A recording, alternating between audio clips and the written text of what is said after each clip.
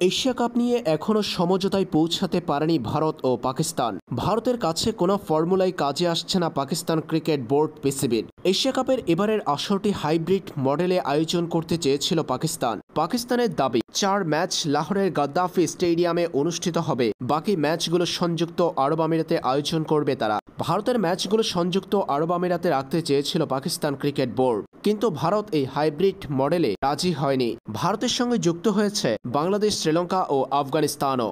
পাকিস্তানের এই প্রস্তাবে রাজি নয় কেউই। লম্বা জার্নির ধকল, পাশাপাশি সংযুক্ত আরব আমিরাতের গরমের কারণে সেখানে এশিয়া কাপ খেলতে রাজি নয় Bangladesh cricket board. Bangladesh cricket board জানিয়েছে, ক্রিকেটারদের শরীর স্বাস্থ্যের কথা চিন্তা করে সংযুক্ত আরব আমিরাতে তীব্র গরমের মাঝে বিশ্বকাপের আগ মুহূর্তে এশিয়া কাপ খেলাটা টাইগার ক্রিকেটারদের জন্য ভালো হবে না।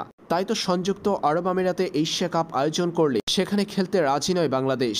বাংলাদেশের এমন কথার পর এবার পাকিস্তানের সাবেক ক্রিকেটার শহীদ আফ্রিদি যা বললেন রীতিমতো টাইগার ক্রিকেট নিয়ে কটুক্তি। ভারতের সঙ্গে যখন কোনো ফর্মুলাই কাজে আসছে না পাকিস্তান ক্রিকেট বোর্ডের, এবার ভারত ছাড়া এশিয়ার অন্য দেশগুলোকে আক্রমণ করা শুরু করেছে পাকিস্তান ক্রিকেট বোর্ড। শহীদ আফ্রিদি বাংলাদেশের এই মন্তব্যকে বলেছেন একটা অজুহাত। এ প্রসঙ্গে শহীদ আফ্রিদি বলেন, আপনি যদি অজুহাত দিতে চান, তাহলে আপনি অনেক কিছুই বলতে পারেন। যেমন সংযুক্ত আরব আমিরাতে খুব গরম। আমি মনে করি এগুলো অজুহাত। বাংলাদেশ ক্রিকেট বোর্ডের এমন মন্তব্যকে অজুহাত বলে কটূক্তি করেছেন শহীদ আফ্রিদি।